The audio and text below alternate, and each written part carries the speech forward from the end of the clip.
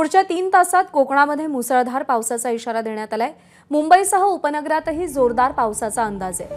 नागरिकांनी सावध राहावं सतर्क राहावं असं आवाहन मंत्रालय नियंत्रण कक्षाकडून करण्यात आलेलं आहे. त्यामुळे पुढचे तीन ते चार तास हे कोकण आणि मुंबईसाठी अत्यंत महत्त्वाचे आहेत कारण मुसळधार पाऊस बरसेल असा अंदाज आहे.